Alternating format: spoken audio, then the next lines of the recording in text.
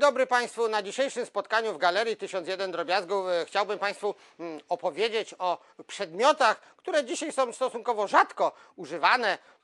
Każdy ma prawie GPS-a, każdy może sprawdzić telefonem, w którym miejscu się znajduje, ale kiedyś poruszając się w terenie należało używać kompas. Zresztą nawet w harcerstwie czy wojsku była sprawność posługiwania się e, e, kompasem i jest to bardzo ciekawe, takie stare e, urządzenie, które chciałbym Państwu przekazać. Jeżeli chodzi o moją pamięć, to takie pierwsze kompasy to mi się kojarzą z takim malutkim kompasem, który się znajdował na pasku przy zegarku i wtedy było wiadomo, jak wrócić do domu. A ponieważ temat temat y, zegarmistrzowski zawsze mnie inspiruje do jakichś tam kolejnych programów, czyli opowiem troszeczkę o tych kompasach, również w powiązaniu z zegarkami. Oczywiście przy zegarkach kieszonkowych były dewiski. Przy dewisce bardzo często coś było ozdobnego. Tu też proszę zwrócić uwagę, taki maluteńki kompas, który jak zegarek był w kieszonce, to ten kompas wystawał sobie na zewnątrz i bardzo ładnie wyglądał. Oczywiście kompasy różnej wielkości możemy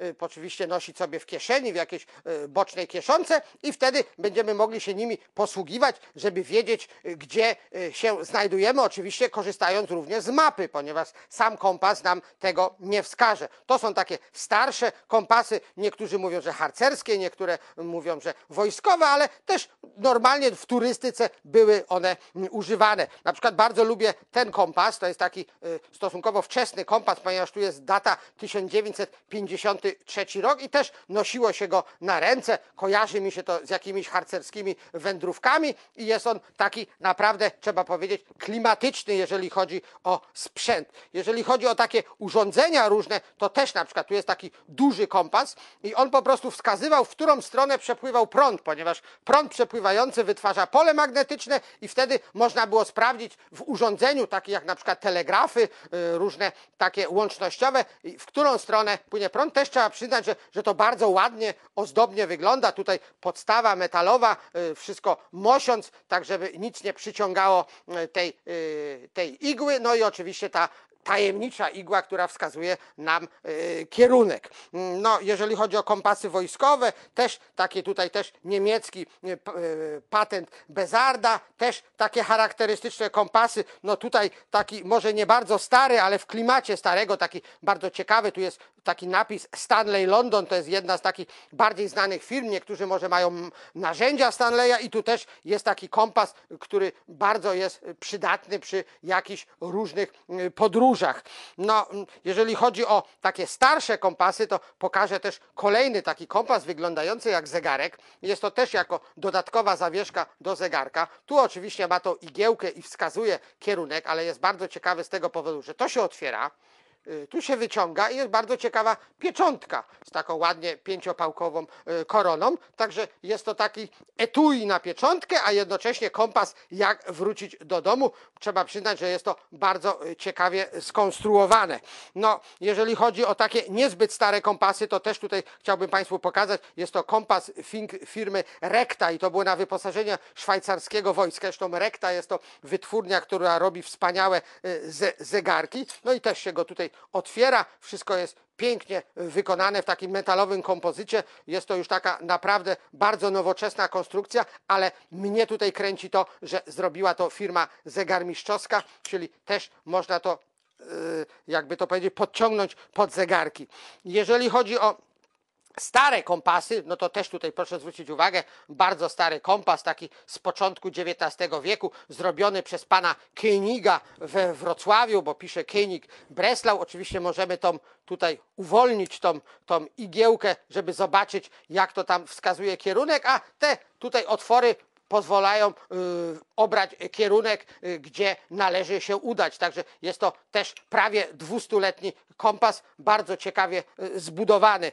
Tutaj kiedyś sam stworzyłem taki kompas, on proszę zobaczyć jak elegancko wygląda na tych łapkach. Ta podstawa jest przeze mnie skonstruowana, ale też jest to firma mm, Kaufel Essex i też bardzo ciekawe urządzenie. Tutaj po przełożeniu tej wajchy ten, ten, ta igiełka wskazuje mm, odpowiedni kierunek. Oczywiście nie może tu być nic stalowego, żeby nie zakłócić jej pracy, ale jest to bardzo ciekawe takie klimatyczne e, e, urządzenie.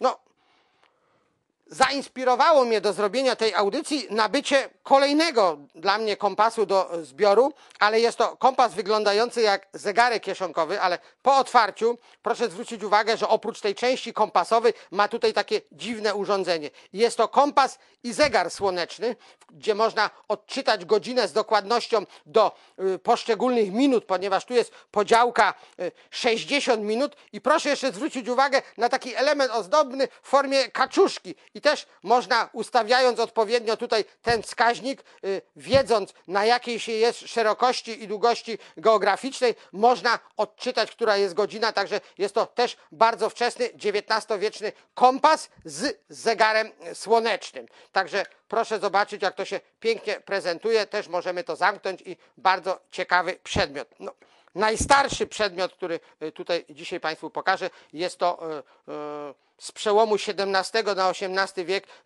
zegar słoneczny. On również posiada kompas. Tego kompasa w zasadzie tutaj nie ma, bo została tylko ta, ta tarcza i powiedzmy y, ta igła, na której się to wszystko wskazuje, ale jest to bardzo ciekawe urządzenie, które właśnie też ustawia się na poszczególną y, wysokość, y, na poszczególną szerokość geograficzną i możemy dzięki temu raz się zorientować o tym kierunku, jakie jest tutaj nasze położenie, a jednocześnie przy pomocy tutaj cienia, który się pokazuje na tym urządzeniu, możemy zobaczyć, która jest godzina, czyli jest to kompas z zegarem słonecznym. No i też pokażę tutaj Państwu właśnie, y, jest tutaj, y, jest on o tyle ciekawy, że jest tutaj na, y, nastawiony na nasze europejskie tereny, ponieważ mamy tutaj Wittenbergię, mamy tutaj Augsburg, także jest to na pewno około 300-letni y, kompas z zegarem słonecznym. Także kompasy odeszły do powiedzmy lamusa, mało kto je używa. Tu proszę zobaczyć ten pierwszy kompas, który mnie się kojarzy z dzieciństwem, który był przy pasku od zegarka, a tutaj takie skomplikowane urządzenie, które jest kompasem i zegarem słonecznym. Także życzę Państwu, że jeżeli macie kompas, żeby wyznaczał Wam odpowiedni, dobry kierunek. Dziękuję.